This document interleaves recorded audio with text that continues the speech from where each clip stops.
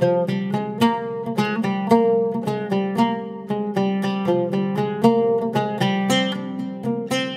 இன்னைக்கு highly requested video தான் பார்க்க போகிறோம் நிறைய ஃப்ரெண்ட்ஸ் ரெக்வஸ்ட் பண்ணி கேட்டிருந்த வீடியோ சத்து மாவு எப்படி செய்கிறதுன்னு தான் பார்க்க போகிறோம் இது ரொம்ப சத்தான ரெசிபி நீங்கள் வந்து குழந்தைங்கள்லேருந்து பெரியவங்க வரைக்கும் எத்தனை வயசு வரைக்கும் வேணாலும் கொடுக்கலாம். இது ரொம்பவே சத்தானதாக இருக்கும். இதில் நம்ம நிறைய விதமான பயர் வகைகள் பருப்பு நட்ஸ்லாம் யூஸ் பண்ணியிருக்கிறதுனால நிறைய விட்டமின்ஸ் அண்ட் மினரல்ஸ் வந்து நம்மளுக்கு கிடைக்கும். ஸோ கண்டிப்பாக வீட்டில் ட்ரை பண்ணி பாருங்கள் ஹாய் ஃப்ரெண்ட்ஸ் வணக்கம். என் பேர் Abhi welcome to Indian recipes Tamil வீடியோக்குள்ளே போகிறதுக்கு முன்னாடி நம்ம சேனல் இந்தியன் ரெசிபிஸ் தமிழை சப்ஸ்கிரைப் பண்ணிக்கோங்க. கூடவே இருக்க பெல் சமலையும் கிளிக் பண்ணிக்கோங்க.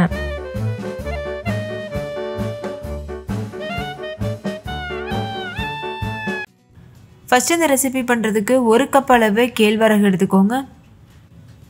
நீங்கள் இந்த ரெசிபிக்கு மெஷர்மெண்ட் கப் தான் யூஸ் பண்ணணும்னு இல்லை. வீட்டில் இருக்க ஏதாவது ஒரு கப்பு அப்படி இல்லைன்னா டீ கிளாஸ் இது மாதிரி எடுத்துக்கோங்க.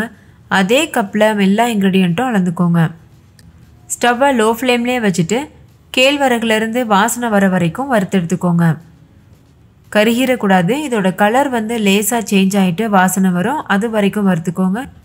இப்போ பாருங்கள் லேசாக வந்து கலர் சேஞ்ச் ஆக ஆரம்பிச்சிருக்கு. லேசாக வெடிக்கிற சத்தம் வரும். அந்த ஸ்டேஜில் ஸ்டவ் ஆஃப் பண்ணிவிட்டு இதை வேறு ஒரு பிளேட்டுக்கு மாற்றிடுங்க இந்த மாதிரி ஒரு அகலமான பிளேட் எடுத்துக்கோங்க. அதில் எல்லா பொருட்களையுமே நம்ம வறுத்து ஒரே பிளேட்டில் தான் கொட்ட போகிறோம் அடுத்து அதே கடாய் சூடுபடுத்திக்கோங்க. அதில் அரை கப் அளவு சோளம் எடுத்துக்கோங்க.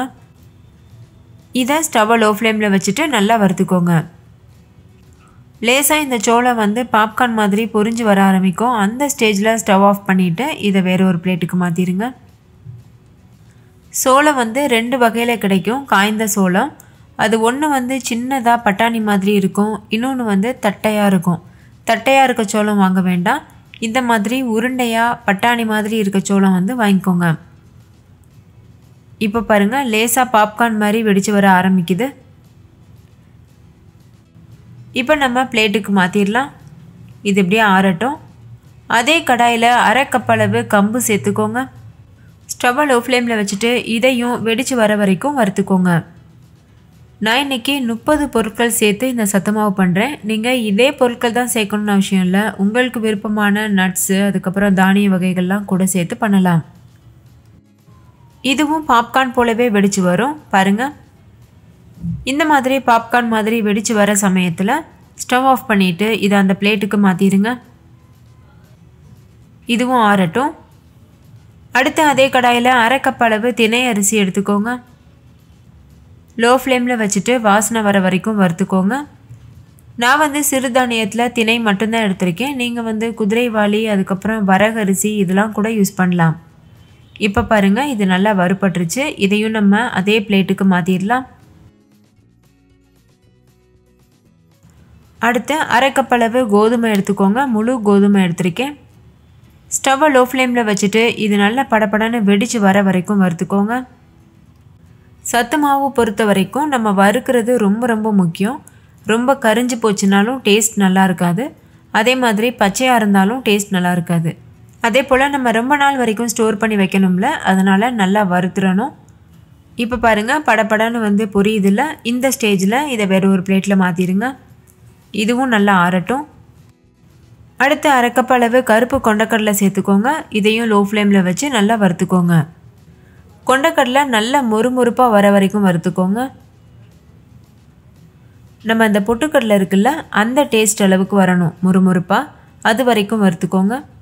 இது கூடவே ஒரு அரை கப் அளவு ராஜ்மா சுண்டலும் சேர்த்துட்டு வறுத்துக்கோங்க. ராஜ்மாவில் வந்து ப்ரோட்டீன் சத்து அதிகமாக இருக்குது ஸ்டவ்வை லோ ஃப்ளேமில் வச்சுட்டு இது ரெண்டுமே நல்ல முறுமுறுப்பாக வர வரைக்கும் வறுத்துக்கோங்க. ஸ்டவ் வந்து லோ ஃப்ளேம்லேயே இருக்கட்டும்.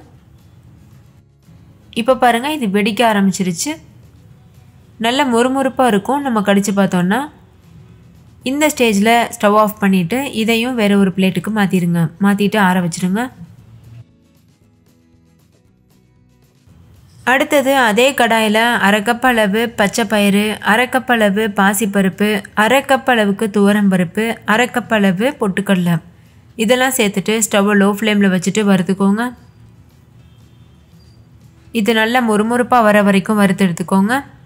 இப்போ இது நல்லா வறுபட்டுருச்சு. இதை நம்ம வேறு பிளேட்டுக்கு மாற்றிடலாம் இதுவும் நல்லா ஆறட்டும். அதே கடாயில் அரைக்கப்பளவு சிகப்பரிசி அரைக்கப் ஜவ்வரிசி அரைக்கப்பளவு பார்லி. இது மூணும் சேர்த்துட்டு ஸ்டவ்வை லோ ஃப்ளேமில் வச்சுட்டு நல்லா கிறிஸ்பியாக வர வரைக்கும் வறுத்துக்கோங்க. இது வறுக்கிறது தான் இதில் ஒரு பெரிய வேலை. ஆனால் நம்ம எல்லா பொருட்களும் அரை அரை கப்பு கால் கால் கப் தான் எடுக்கிறோம். இருந்தாலும் கூட மூணு மாதத்துக்கு தேவையான அளவுக்கு சத்து மாவு கிடைக்கும். இப்போ பாருங்கள் இதுவும் நல்லா வறுபட்டுருச்சு.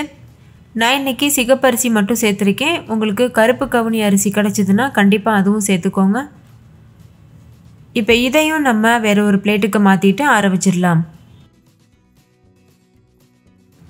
அடுத்து இதில் கால் கப் அளவு எள்ளு சேர்த்துக்கோங்க. நான் வெள்ளை எள் சேர்த்துருக்கேன். நீங்கள் கருப்பு எள் கூட சேர்க்கலாம். எள் வந்து படபடன்னு பொரிய ஆரம்பித்ததுக்கப்புறமா ஸ்டவ் ஆஃப் பண்ணிவிட்டு இதை வேறு பிளேட்டுக்கு மாற்றிடுங்க இந்த கடாய் ஆல்ரெடி சூடாக இருக்கிறதுனால நம்ம சேர்த்ததுமே எள் பொரிய ஆரம்பிச்சிடுச்சு இதையும் அதே பிளேட்டில் மாற்றி வச்சுருங்க. இதுவும் ஆறட்டும். அதே கடாயில் அரை கப் அளவுக்கு கருப்பு உளுந்து சேர்த்துக்கோங்க. தோலோடு இருக்கிற கருப்பு உளுந்து சேர்த்துருக்கேன். சேர்த்துட்டு இதையும் நல்லா வறுத்துருங்க. ஸ்டவ்வை லோ ஃப்ளேமில் வச்சுக்கோங்க. இதுவும் நல்லா மொறுமொறுப்பாக வறுப்பட்டதுக்கப்புறமா அதே பிளேட்டில் மாற்றி வச்சுருங்க. அதே கடாயில் அரை கப் அளவு கொள்ளு சேர்த்துக்கோங்க. ஸ்டவ்வை லோ ஃப்ளேமில் வச்சுட்டு கிறிஸ்பியாக வர வரைக்கும் வறுத்துட்டு அதே பிளேட்டுக்கு மாற்றிடுங்க இப்போ பாருங்கள் இது நல்லா படபடன்னு வெடிக்குது. இது இப்போ நல்லா வறுப்பட்டுருச்சுன்னு அர்த்தம். இதை நம்ம வேறு பிளேட்டுக்கு மாற்றிடலாம் அடுத்து சேம் கடாயில் கால் கப் அளவு பிஸ்தா பருப்பு சேர்த்துக்கோங்க. இது கூடவே கால் கப் பாதாம் பருப்பு கால் கப் அளவு முந்திரி. இதெல்லாம் சேர்த்துட்டு நல்லா வறுத்துக்கோங்க. ஸ்டவ்வை லோ ஃப்ளேம்லேயே வச்சுருங்க. இப்போ பாருங்கள் இது நல்லா வறுபட்டுருச்சு. இதை நம்ம அதே பிளேட்டுக்கு மாற்றிட்டு அரை வச்சிடலாம். அடுத்து அதே கடாயில் அரைக்கப்பளவு நிலக்கடலை சேர்த்துக்கோங்க. இது வறுக்காத நிலக்கடலை அதனால் நான் வறுத்துட்டு சேர்க்குறேன். நீங்கள் வறுத்த நிலக்கடலை வச்சுருந்தீங்கன்னா அப்படியே கூட சேர்த்துக்கலாம். வறுக்கணும்னு அவசியம் இல்லை. இப்போ இந்த நிலக்கடலை மொறுமொறுப்பாக வர வரைக்கும் வறுத்துட்டு அதே பிளேட்டுக்கு மாற்றிடுங்க அடுத்தது அரை கப் அளவு புழுங்கரிசி எடுத்துக்கோங்க. இது நல்ல பொரி அரிசி மாதிரி பொரிஞ்சு வரணும். அது வரைக்கும் லோ ஃப்ளேமில் வச்சு வறுத்துக்கோங்க.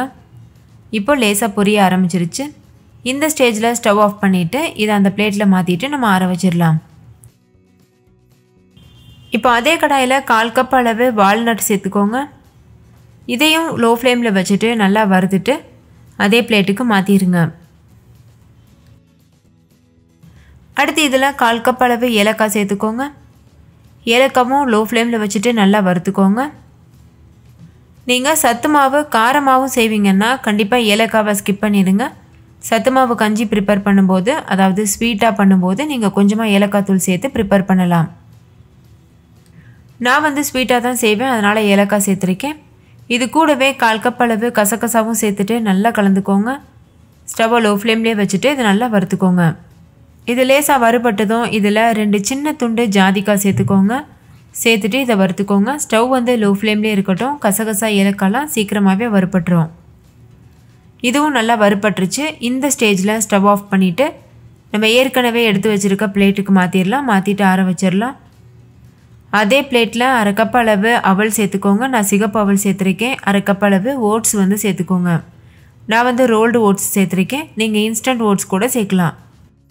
ஸ்டவ்வை லோ ஃப்ளேமில் வச்சுட்டு இதே நல்லா வறுத்துக்கோங்க. நீங்கள் சிகப்பவலுக்கு பதிலாக நார்மலான தட்டையவல் கூட யூஸ் பண்ணலாம்.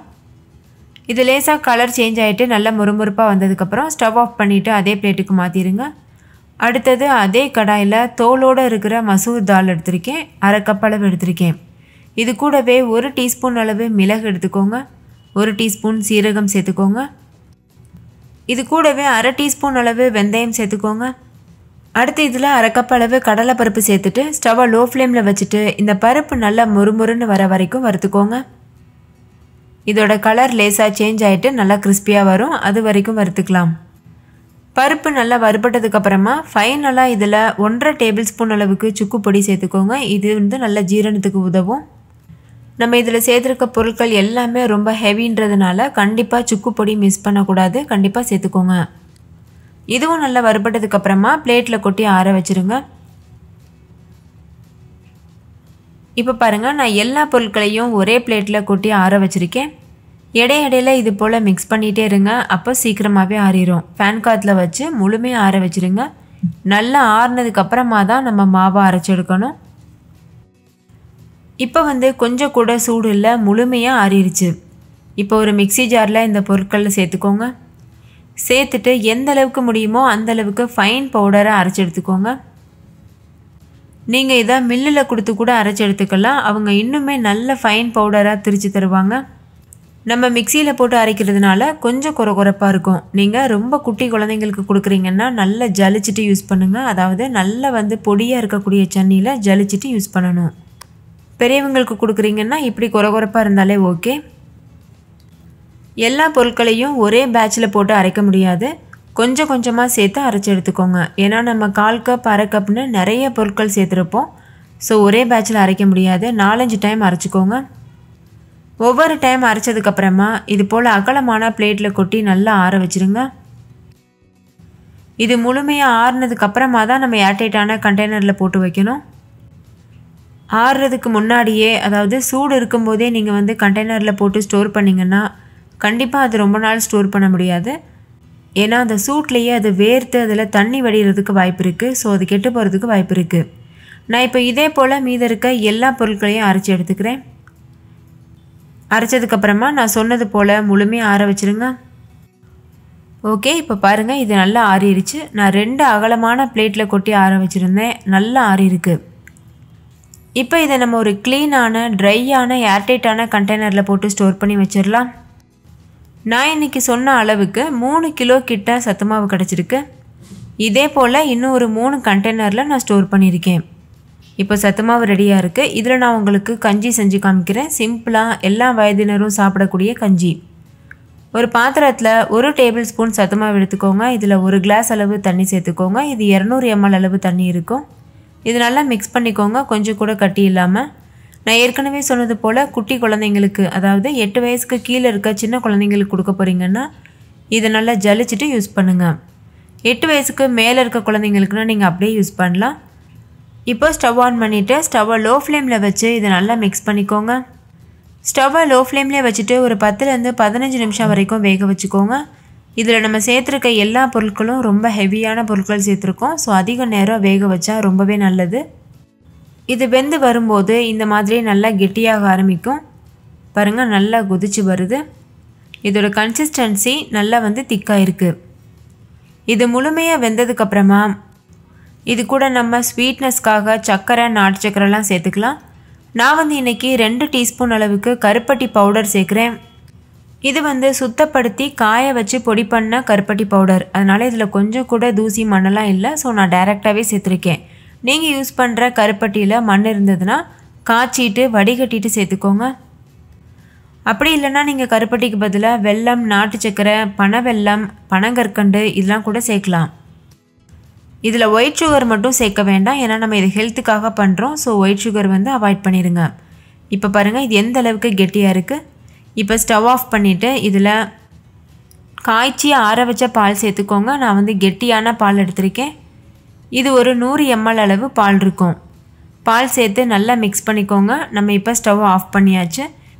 ஏன்னா இதில் கருப்பட்டி சேர்த்துருக்கோம். கருப்பட்டியும் பாலும் சேர்த்து கொதிக்க வச்சோம்னா பால் திரியறதுக்கு சான்ஸ் இருக்குது அதனால் ஸ்டவ் ஆஃப் பண்ணிவிட்டு பால் சேர்த்துக்கோங்க. பால் சேர்த்து கொஞ்சம் கூட கட்டிகள் இல்லாமல் நல்லா கலந்துட்டு சுட சுட இது ஒரு கிளாஸில் ஊற்றிட்டு சர்வ் பண்ணிடுங்க ரொம்ப ரொம்ப டேஸ்டியான சத்து மாவு கஞ்சி சூப்பராக தயார் பண்ணிட்டோம். சூடாக குடிக்கும்போது ரொம்பவே டேஸ்டியாக இருக்கும். இதை நீங்கள் டீ காஃபிக்கு பதிலாக கூட எடுத்துக்கலாம். ஒருவேளை உங்களுக்கு இதை ஸ்வீட்டாக சாப்பிட பிடிக்கலன்னா நான் ஏற்கனவே சொன்னது போல் ஏலக்காவை ஸ்கிப் பண்ணிவிட்டு சத்து ப்ரிப்பேர் பண்ணி வச்சுக்கோங்க. சேம் மெத்தடில் கஞ்சி ப்ரிப்பேர் பண்ணுங்கள் நாட்டு சர்க்கரைக்கும் பாலுக்கும் பதிலாக உப்பும் தயிரும் சேர்த்துக்கோங்க. தயிர் வந்து ஸ்டவ் ஆஃப் பண்ணிவிட்டு மிதமான சூடு வந்ததுக்கப்புறம் சேர்த்துக்கோங்க.